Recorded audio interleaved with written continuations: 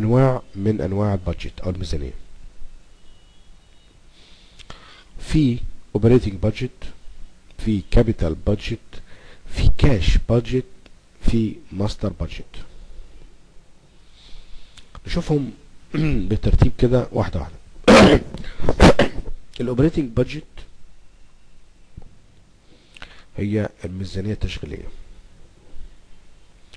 وبتشمل أو في ال definition بتاعها بتقول a financial plan formulated to meet current day to day needs الاحتياجات اليومية أو operation يعني العمليات اليومية.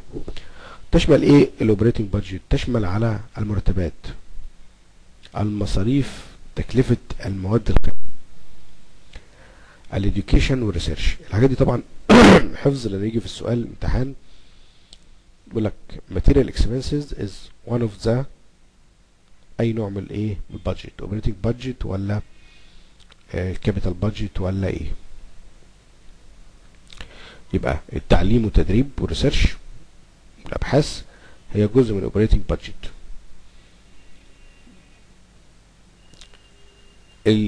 العقود اللي بتتم في خلال السنة دي جزء من ال operating budget ال insurance التأمين وال maintenance عقود الصيانة وال depreciation الإحلال أو تقليل القيمة أو الاستهلاك ده جزء من ال operating budget حدود الدين ده جزء من ال operating budget الربح المعقول أو هامش الربح المعقول ده جزء من ال operating budget ال reasonable profit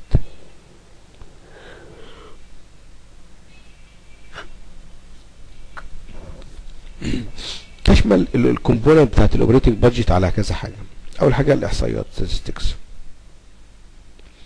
اللي هي الإحصائيات اللي بنجمعها في ال financial. اللي هي المصروفات وال expenses والتكاليف. اللي هي الإحصائيات اللي جاية من كل آه قيمة أو مادة أو فلوس بصرفها وتشمل كمان العائد ال revenue اللي هو الدخل اللي جاي من خدمات ومن العيانين ومن الاستثمار ومن آه التبرعات الخارجية للمستشفى يبقى دي تلات أجزاء مهمين جدا في الأوبريتنج بادجت.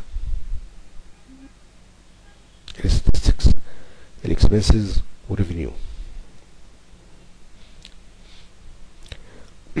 عشان أقدر اعمل operating budget عندي اعملها بطريقتين. الطريقة الأولانية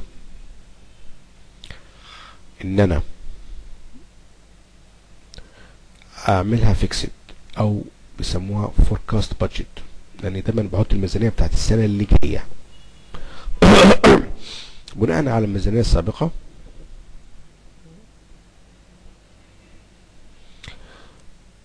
كانت السنة اللي فاتت كذا فانا بحط نسبة كل سنة نتيجة لخبرتي الواسعة. وبقول إني البادجت بتاع السنة اللي جاية كذا أو كعشرة في المية من البادجت اللي فاتت.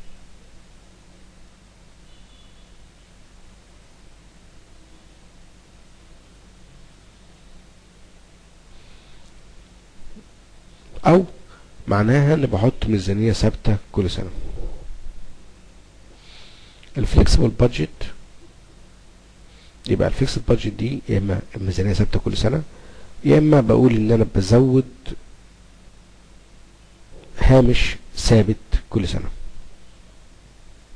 الاشياء كتير قوي منها ان أنا متوقع دخل أعلى ومنها لأن أنا آه متوقع مصاريفي تزيد.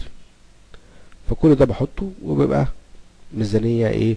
ثابتة كل سنة إما فيها هامش واحد في المية زيادة كل سنة. ممكن بتبقى في الآخر ميزانية ثابتة وأنا من دلوقتي عارف الميزانية بتاعت عشر سنين قدام كام.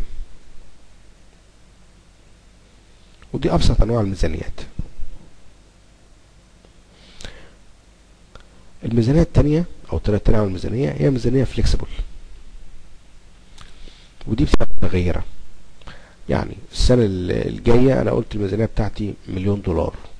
السنة اللي بعدها جيت أعمل الميزانية بتاعتي لقيتها كفاية أول ال budget بتاعي تبقى خمسمية ألف. السنة اللي بعدها جيت أشوف الميزانية بتاعتي بناء على عوامل كتيرة. قلت لا ده أنا محتاج توسعات جامدة أنا محتاج ميزانية اتنين مليون. فهي ميزانية variable بتعتمد على أنا بحقق إيه كل سنة أنا عايز أعمل إيه. وال data اللي دخلت لي السنة اللي فاتت. ممكن أستعمل الميزانية دي ممكن أستعمل الميزانية دي. حسب أنا عايز إيه. أنا هحقق إيه؟ أنا عايز أثبت نفسي ولا أنا عايز عندي تغيرات كتير؟ بس لازم يكون عندي ميزانية. النوع التاني أو الطريقة التانية التالتة لتنفيذ الميزانية. اللي هي بيسميها zero based budget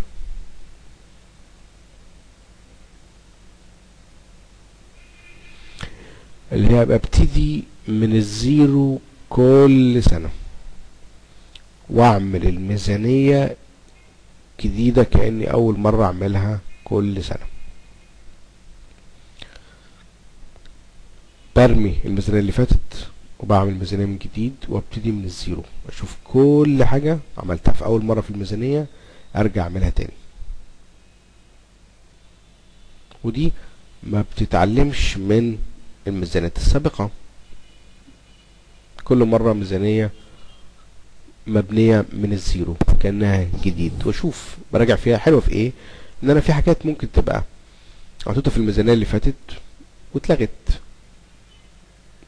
فهنا بقدر أراجع وأخلص الميزانية من الحاجات اللي كانت موجودة مبقتش موجودة.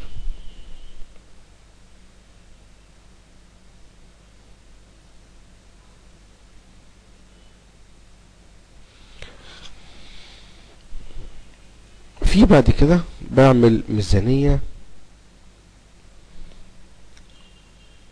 لكل department تقدم ميزانيتها. واجمعهم واعتمد الميزانية الكبيرة بتاعت المستشفى كلها بناء على ميزانية كل قسم من الأقسام. أو كل مجموعة من ال departments يعني بتاع ال HR بيعمل ميزانيته بتاع الجراحة بيعمل ميزانيته بتاع ال management بيعمل ميزانيته بتاع البطنة بيعمل ميزانيته وفي الآخر أجمعهم وأحطهم في الميزانية بتاعت المستشفى كلها على بعضها.